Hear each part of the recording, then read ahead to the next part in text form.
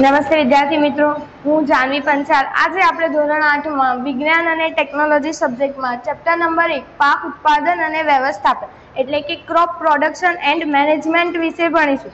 Crop એટલે કે પાક, અને પ્રોડક્શન એટલે ઉત્પાદન, અને વ્યવસ્થાપન એટલે મેનેજમેન્ટ.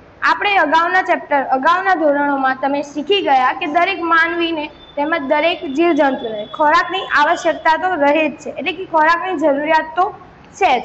દરેક મનુષ્ય પોતાનો ખોરાક જાતે બનાવી શકતો નથી. તેને ખોરાક માટે અન્ય કોઈ પર આધાર રાખવો પડે છે. આપણે એટલું તો જાણીએ જ છીએ કે લીલી વનસ્પતિ એ પોતાનો ખોરાક જાતે બનાવી શકે છે. સૂર્યપ્રકાશની હાજરીમાં લીલી વનસ્પતિ પોતાનો ખોરાક જાતે બનાવે છે. કઈ ક્રિયા દ્વારા? તો પ્રકાશ સંશ્લેષણની ક્રિયા દ્વારા લીલી વનસ્પતિ સૂર્યપ્રકાશની હાજરીમાં પોતાનો ખોરાક જાતે બનાવે છે. દરેક વ્યક્તિને તેમજ દરેક પ્રાણીને ખોરાકની જરૂરિયાત હોય જ છે. દરેક મનુષ્યને પણ પોતાના રોજિંદા કાર્યો કરવા માટે તેમજ પોતાની જિંદગીમાં આગળ વધવા માટે અને દરેક કાર્ય એટલે કે રોજિંદી જીવન જરૂરિયાતની કાર્ય રોજિંદી જરૂરિયાતો પૂર્ણ કરવા, પોતાના દરેક કાર્યમાં આગળ વધવા માટે તેને ખોરાકની જરૂર છે. ખોરાક ખાવાથી, મળતી શક્તિથી આપણે પાચન, ઉત્સર્જન, શ્વસન વગેરે જેવી ક્રિયાઓ કરી શકીએ છીએ. આપણે જાણીએ છીએ કે આપણે ભારત દેશ એ ખૂબ જ વિશાળ છે. ભારત દેશમાં અલગ અલગ સંસ્કૃતિ ધરાવતા લોકો રહે છે. સાથે સાથે આપણા દેશમાં અલગ અલગ જગ્યાએ અલગ અલગ પ્રકારનું તાપમાન, ઋતુ અને ભેજ જોવા મળે છે. આ વાતાવરણીય ફેરફારોના કારણે ભારતમાં વિવિધ ક્ષેત્રોમાં અલગ અલગ પ્રકારના પાકની ઉત્પાદન કરવામાં આવે છે. આજે આપણે ઋતુઓના ઋતુઓના આધારે પાકનું બે પ્રકારમાં વર્ગીકરણ કરી શકાય, તે જોઈએ છે. ઋતુઓના આધારે એટલે કે દરેક દરેક ક્ષેત્રોમાં બધી જગ્યાએ વાતાવરણ સેમ મળી શકતું નથી. તેથી દરેક જગ્યાએ એક પ્રકારનો પાક ઉછેરી શકાતો નથી. ઋતુઓ તેમજ તાપમાનના કારણે ત્યાં અલગ અલગ પ્રકારનો પાક ઉછેરવામાં આવે છે. ઋતુઓના આધારે પાકનો મુખ્ય બે ભાગોમાં વહેંચી શકાય. એક ભાગ કહીશું ખરીફ પાક અને બીજું રવિ પાક.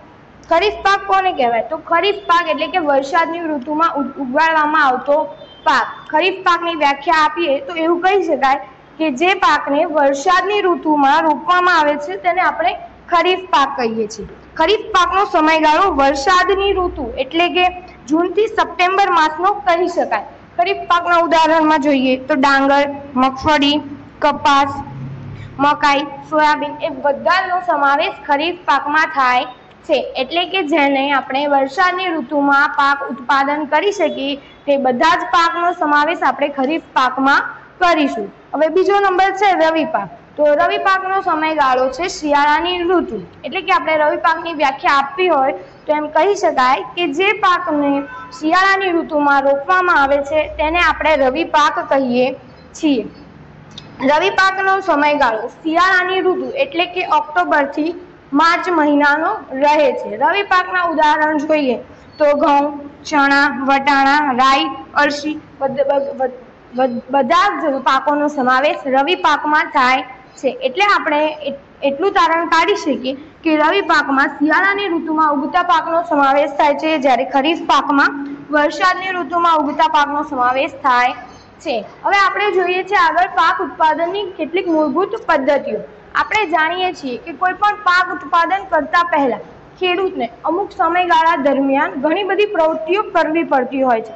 આપણે જાણીએ કે આપણા ઘર, આપણા ઘરમાં પણ આપણે નાનો તુલસીનો છોડ વાવીએ છીએ, તો પણ આપણે તે તુલસીના છોડને મોટો કરવા માટે કાં તો તેની વૃદ્ધિ કરવા માટે ઘણી બધી પ્રવૃત્તિઓ કરીએ છીએ. તેને સમયાંતરે પાણી આપીશું, સૂર્યપ્રકાશ તેના પર પડે એવી જગ્યાએ મૂકીએ ખાતર આપીએ, તેની સરખી એવી માવજત કરીએ છીએ, તેને જરૂરિયાત પૂરતા પોષક તત્વો પૂરા પાડીએ છીએ.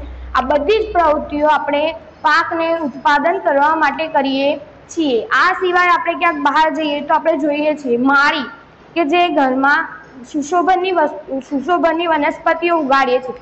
તે તે લોકો પણ આ અલગ અલગ પ્રવૃત્તિઓ દર સમયાંતરે કરતા હોય છે. આજે આપણે પાક ઉગાડવા માટે બધી પ્રવૃત્તિઓ સમયાંતરે કરવી પડે છે. તે પદ્ધતિને આપણે ખેત ઉત્પાદન પદ્ધતિ અથવા ખેત પદ્ધતિઓ કહીએ છીએ. હવે આપણે જોઈએ પાક ઉત્પાદનની મૂળભૂત પદ્ધતિ, જેમાં પહેલી પદ્ધતિ છે ભૂમિને તૈયાર કરવી. તો કોઈ પણ પાકને ઉત્પાદન કરતા પહેલા અથવા કોઈ પણ પાકને રોપતા પહેલા ભૂમિને તૈયાર કરવી એ તેનું પ્રથમ ચરણ ગણી શકાય. એટલે કે કોઈ પણ પાકને જ્યારે આપણે એમાંથી ભૂમિમાં રોપીએ છીએ, ત્યારે સૌ પ્રથમ ભૂમિને તૈયાર કરવી ખૂબ જ જરૂરી છે. ભૂમિને તૈયાર કરવા માટે આપણે જમીનને હળ વડે ખેડીએ છીએ. હળ વડે ખેડવાથી જમીન ઉપર નીચે થાય છે. જેથી જમીન પોચી અને છિદ્રાળુ બને છે. જમીન પોચી અને છિદ્રાળુ બનવાને કારણે તેમાં સૂક્ષ્મજીવો અળસિયા વગેરેનું પ્રમાણ વધે છે. અને સૂક્ષ્મજીવો અને અળસિયાનું પ્રમાણ વધવાથી જમીન ખૂબ જ પોચી અને માટીયાળ બને છે. જેની મદદથી આપણે પાક સારા પ્રમાણમાં ઉછેરી શકીએ છીએ.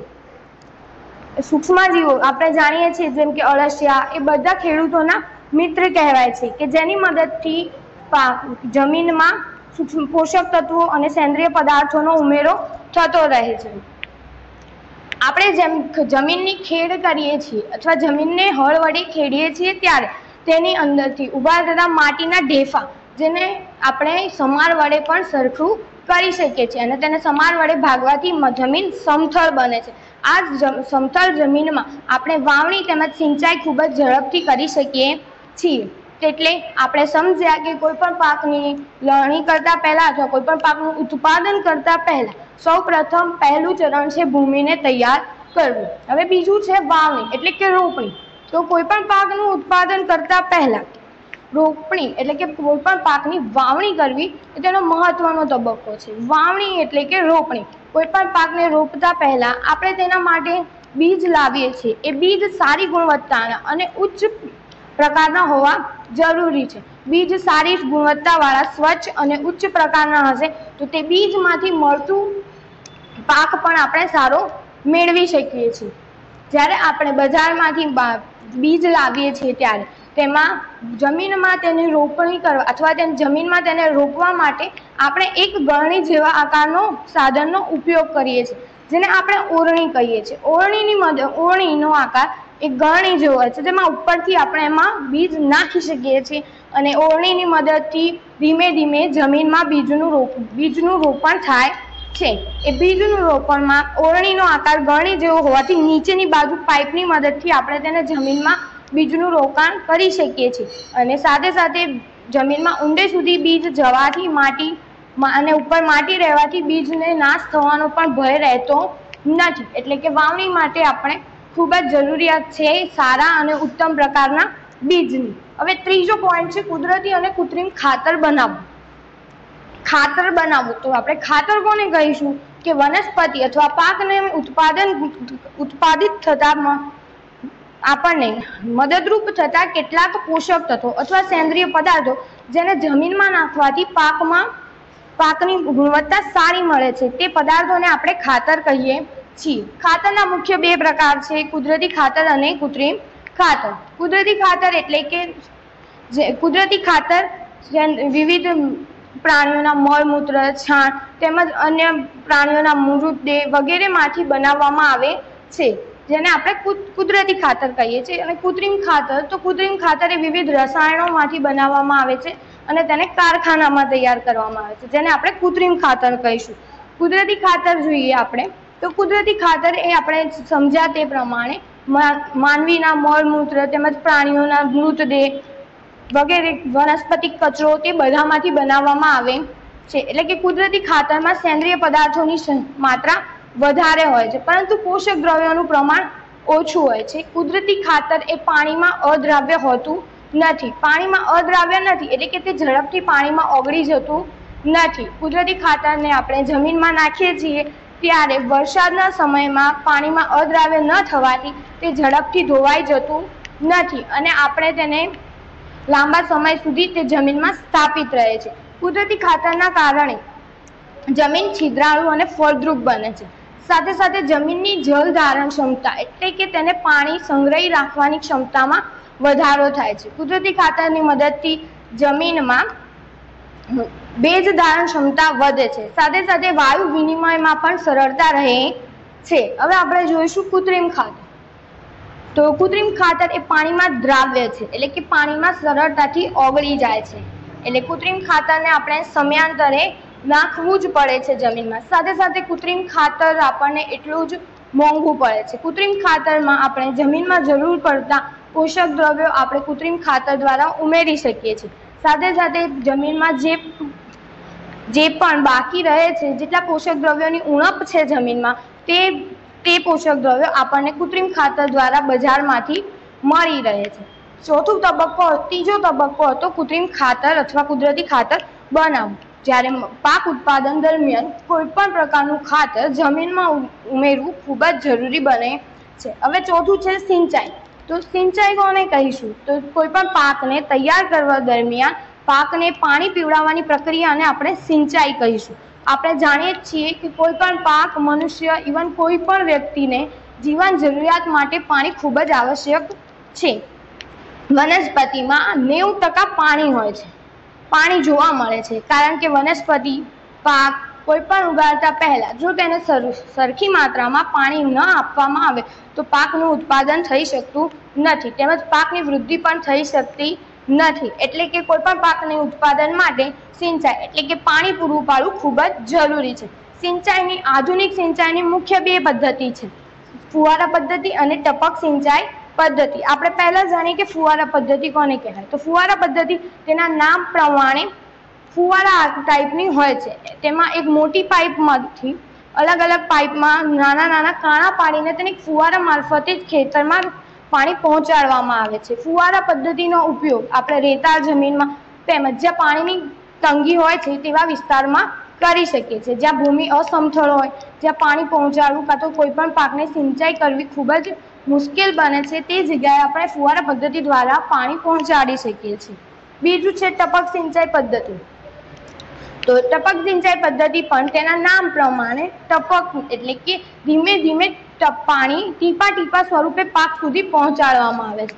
આ પ્ર, આ પદ્ધતિમાં એક મોટી પાઇપલાઇનમાંથી નાની નાની પાઇપલાઇન, પાઇપમાં પાઇપમાં છોડ સુધી પહોંચાડવામાં આવે છે. એ પાઇપને છોડની ઉપર ધીમે ધીમે ધીમે ધીમે પાણી પડે તેવી રીતે નાનું કાણું પાડીને આખા દિવસ દરમિયાન તેને સમયાંતરે પાણી પૂરું પાડવામાં આવે છે. જેથી પાણીનો બગાડ થતો નથી, પાક પણ કોહવાઈ જતો નથી અને પાણી અને પાકને જરૂરિયાત મુજબ પાણી મળી રહે છે. ટપક સિંચાઈ પદ્ધતિમાં પણ જ્યાં પાણીની ખૂબ જ અછત હોય તેવા વિસ્તારોમાં ટપક સિંચાઈ પદ્ધતિ એ આપણા માટે વરદાનરૂપ સાબિત થાય છે. સાથે સાથે જ્યાં રેતાળ જમીન હોય તેમજ જ્યાં પાણીની સુવિધા ખૂબ જ ઓછા પ્રમાણમાં હોય, ત્યાં ટપક સિંચાઈ પદ્ધતિ ખૂબ જ ઉપયોગી સાબિત થાય છે.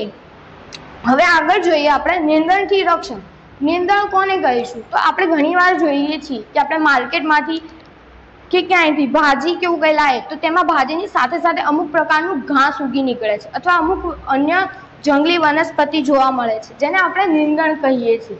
જ્યારે આપણે પાક ઉત્પાદન કરીએ છીએ ત્યારે પાકની સાથે સાથે કેટલીક આવી બિનજરૂરી વનસ્પતિ ઉગી નીકળે છે, જેને આપણે નિંદણ કહીએ છીએ નિંદણને દૂર કરવું ખૂબ જ જરૂરી છે, કારણ કે નિંદણ એ પાક ઉત્પાદન દરમિયાન મળતા પોષક દ્રવ્યો, સેન્દ્રિય ખાતર, પાણી, સૂર્યપ્રકાશ બધામાં ભાગ પડાવે છે. જેથી નિંદણને દૂર ન કરવામાં આવે તો પાક ઉત્પાદન ઝડપ, પાક ઉત્પાદન થઈ શકતું નથી. સારી ગુણવત્તામાં આપણે પાક મેળવી શકતા નથી. તેથી સારી ગુણવત્તામાં પાક મેળવવા માટે અને પાકની વૃદ્ધિ સારી થાય તે માટે આપણે નિંદણ, એટલે કે ઘાસને દૂર કરવું પડે છે. આ નિંદણને દૂર કરવાની પદ્ધતિને આપણે નિંદામણ પણ કહીએ છીએ. નિંદામણ કરવાની પ્રક્રિયા જમીન ખેડતા પહેલા પણ કરવામાં આવે છે. જ્યારે જમીનને જમીનને પાક ઉત્પાદન માટે તૈયાર કરવામાં આવે છે ત્યારે સૌપ્રથમ પહેલા નિંદણ દૂર કરવામાં આવે છે. ત્યારબાદ નિંદણ દૂર કરવા તેને જમીનની સાથેથી જ ખેંચવામાં આવે છે અથવા જમીનની સાથેથી કાપી નાખવામાં આવે છે. જેથી નીંદણ પાકને, પાકની વૃદ્ધિમાં ખલેલ પહોંચાડતું નથી. નીંદણ દૂર કરવા માટે ઘણા બધા માર્કેટમાં ઘણા બધા રસાયણો પણ મળે છે, જેને આપણે નિંદણ નાશક કહીએ છીએ.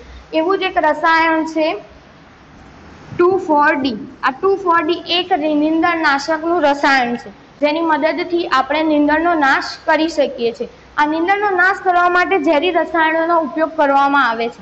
આ નિંદણનાશકને પણ પાણી સાથે ભેળવીને ખેતરમાં આ નિંદણનાશકને પાણી સાથે ભેળવીને ખેતરમાં ખેતરમાં છાંટવામાં આવે છે. આ છાંટવામાં આવતું નિંદણનાશક ખેડૂત દ્વારા છાંટવામાં આવે છે. પરંતુ તે વખતે પણ ખૂબ જ સાવધાની રાખવાની જરૂર પડે છે. કારણ કે આ નિંદણનાશક ખૂબ જ ઝેરી રસાયણોનું બનેલું હોવાથી તે મનુષ્યના શ્વાસોશ્વાસની ક્રિયા તેમજ મનુષ્યના આંતરિક આંતરિક અંગોમાં ખૂબ જ નુકસાન પહોંચાડે છે. તેથી જ્યારે પણ નિંદણનાશકનો છંટકાવ કરવામાં આવતો હોય ત્યારે લોકો પોતાના મોઢા પર માસ્ક, સાથે સાથે હાથમાં ગ્લવ્સ અને પોતાની સાવચેતી રાખીને નિંદણનો અભ્યાસ નિંદણનાશકનો છંટકાવ કરે છે. એટલે આપણે જોયું કે નિંદણથી રક્ષણ કેવી રીતે મેળવી શકીએ જ્યારે આપણે કોઈ પણ પાક ઉગાડીએ છીએ ત્યારે એ પાકને સારી ગુણવત્તામાં મેળવીએ, તેમજ એ પાકનું ઉત્પાદન સારા પ્રમાણમાં થાય તેનું ધ્યાન રાખવું ખૂબ જ જરૂરી છે. તેથી નિંદણથી રક્ષણ મેળવવા માટે પાક ઉત્પાદન દરમિયાન નિંદણને દૂર કરવું એટલે કે બિનજરૂરી વનસ્પતિ, તેમજ ઘાસને દૂર કરવું ખૂબ જ જરૂરી હોય છે. હવે આગળ છે લણણી. પાક ઉત્પાદનનો, પાક ઉત્પાદન દરમિયાનનો મહત્વનો તબક્કો છે લણણી.